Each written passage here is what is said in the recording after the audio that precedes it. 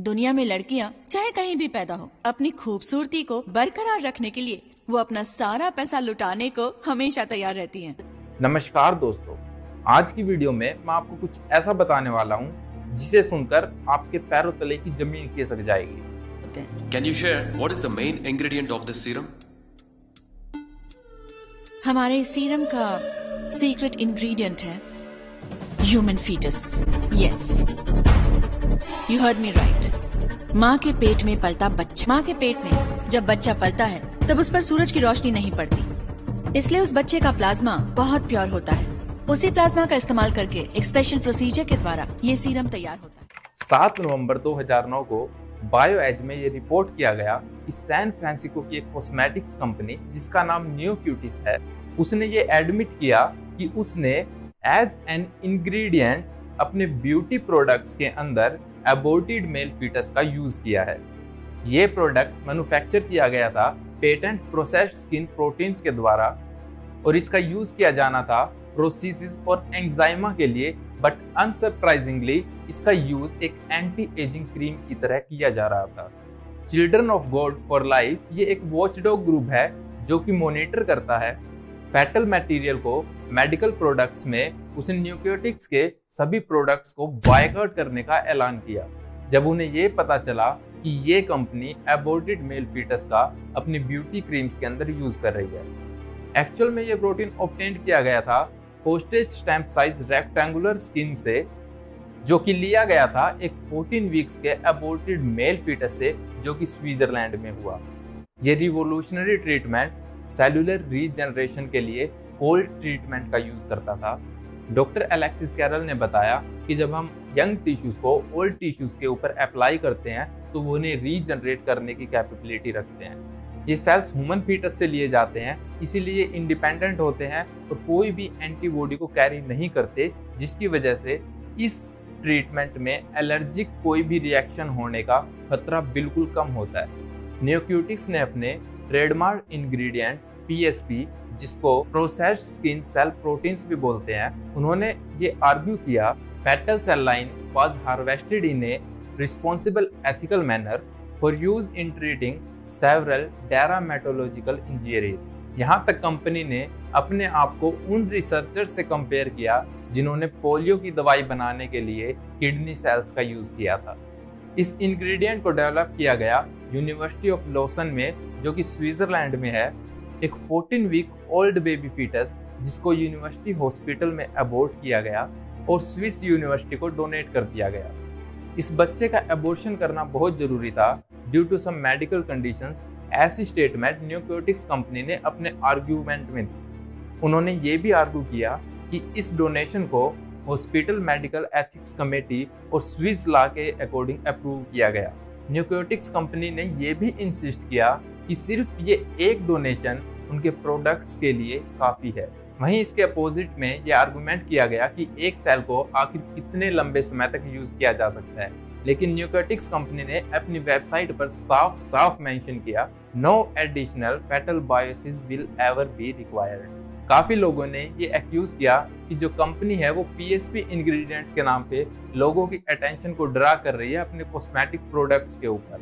जबकि कंपनी ने PSP ingredients का डेवलपमेंट बर्न्स और स्केरिंग्स के लिए किया था, पर ऐसा करते करते उन्होंने एक रीस्टोरिंग एजिंग स्किन का इंग्रेडिएंट्स तैयार कर लिया। वहीं अगर प्राइस की बात करें तो इस कंपनी के प्रोडक्ट्स का प्राइस दूसरी कंपनी के प्रोडक्ट्स के कंपैरिजन में बहुत ज़्यादा डिफरेंस था। वन आउंस बोतल of bio restorative day cream का प्राइस करीब 120 डॉलर था, जो कि अपने आप में बहुत बड़ा अमाउंट है। टाइम टू टाइम ऐसे काफ़ी सारे एलिगेशंस एबोर्टेड क्लिनिक्स के ऊपर लगाए गए कि वो फैटल बॉडीज को कॉस्मेटिक्स कंपनी को सेल कर रही हैं।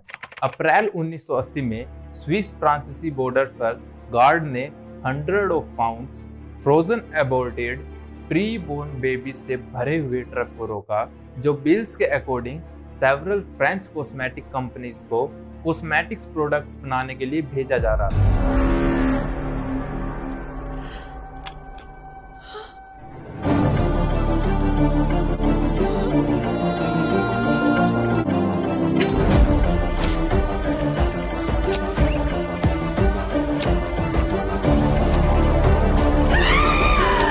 इस तरह की खबरें फ्रेंच न्यूज़पेपर में हमेशा आती रहती थी, क्योंकि इनका यूज़ ब्यूटी प्रोडक्ट्स में किया जाता था और ये फ्रेंच में बहुत ही हाई प्राइस पर सोल्ड होता था।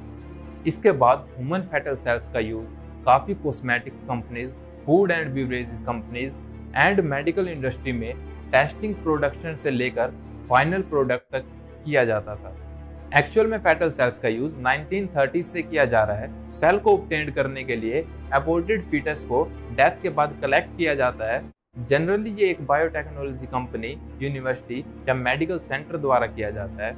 इसके बाद इन्हें अल्फ़ा न्यूमेरिक नेम दे दिया जाता है। Food and beverage industry biotech company Senomyx use करती है cell line H E K two for research of new flavours and additives to be clear fetal cells को फ़ूड और बीवरेजेस में add नहीं किया जाता है, बल्कि वो फ्लेवर रिसेप्टर्स का यूज़ करते हैं किडनी सेल्स में एज टायरलेस टेस्ट टेस्टर्स जो कि 1970 में फीमेल फीटस का अबोर्ट किया गया था।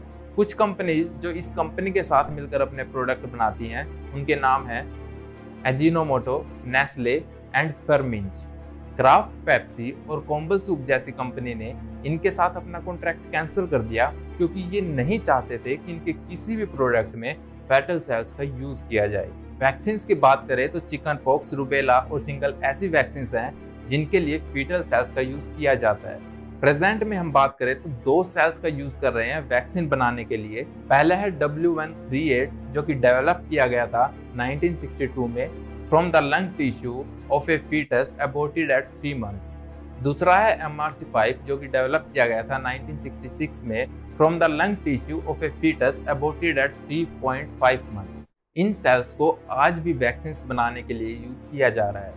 50 साल के अंदर दो एबोर्शन अलाउड हैं वैक्सीन को प्रिपेयर करने के लिए against all of this disease एक एस्टिमेट की बात करें तो सिर्फ़ W N thirty eight cell line से करीब 11 मिलियन लोगों को मरने से बचाया गया है, जो कि अपने आप में एक बहुत बड़ा नंबर है। टू बी क्लियर, वैक्सीन के अंदर फैटल टिश्यू नहीं होते हैं। इतना सब कुछ इतने सालों से हो रहा है, लेकिन इसके बाद भी इन चीज़ों के बारे में बहुत कम लोगों को पता है। फैटल टिश्यू स्पॉटलाइट में तब आया जब कुछ controversial videos by the centre of medical progress बाहर आई। बट ये अटेंशन भी काफ़ी नहीं थी। For example F D cosmetics company की इंग्रेडिएंट्स लिस्ट को चाहती ही नहीं है, जिसकी वजह से न्यूकोटिक्स जैसी कंपनी ये फ्रीली एडमिट करती हैं। सिमिलरली सिनोमैक्स जैसी फ़ूड कंपनीज़ इनको लो कंसंट्रेशन में ऐड करके आर्टिफिशियल फ्लेवर का नाम दे देती है, जिससे कंज्यूमर उनको इजिली ट्रेस ही नहीं कर पाता वैक्सीन मैन्युफैक्चरर की अगर बात करें तो वो इंग्रेडिएंट्स लिस्ट को प्रोवाइड करते हैं, लेकिन कभी भी पेशेंट शॉट लगवाने से पहले उसकी लिस्ट को कभी भी चेक नहीं करता।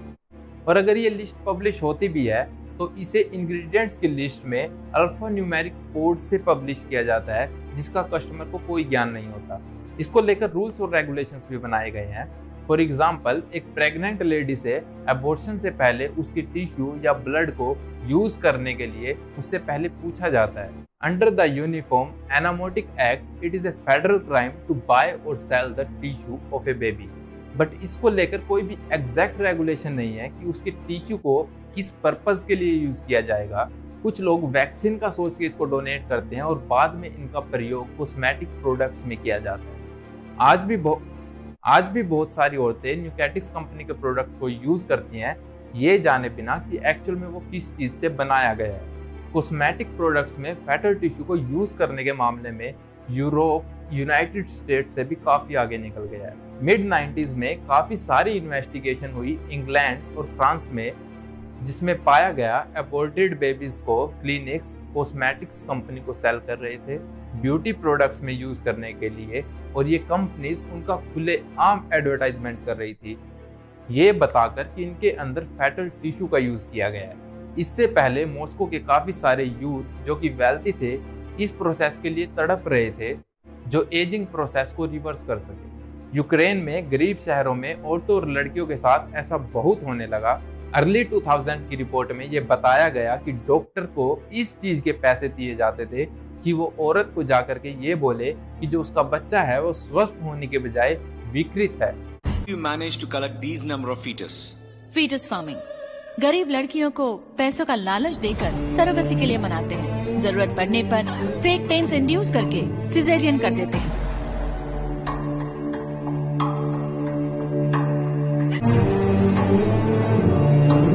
इसके बाद उन्हें एबॉर्शन के लिए भेज दिया जाता था, जिसके अवशेषों के उसे 100 रूबल तक मिलते थे। इसके बाद डॉक्टर उन्हें रशियन कॉरपोरेशन को 5000 रूबल्स तक बेच देते थे। ये कॉरपोरेशन उन्हें काट कर ग्राइंड कर कर उनका पेस्ट बनाकर, उनको ब्यूटी प्रोडक्ट्स में ऐड कर कर सैलून्स पर सेल करते थे। और ये ब्यूटी सैलून्स इस ट्रीटमेंट की कॉस्ट दस हज़ार रूबल तक रखते ओपन मार्केट में cosmetic company lower grade serum को बाय प्रोडक्ट की तरह फेयरनेस क्रीम में यूज़ कर रहे हैं। मार्केट में इतने प्रोडक्ट्स होने के बावजूद अगर हमारी कंपनी नंबर वन रही है उसकी वजह क्राफ्ट कॉस्मेटिक्स का क्रेज ही है। पर वहाँ की रिच वुमेन्स पर इससे कोई फ़र्क नहीं पड़ता था कि इससे कौन मर रहा है या कौन जी रहा है। बट ये जो कुछ हो रहा था सब इलीगल था।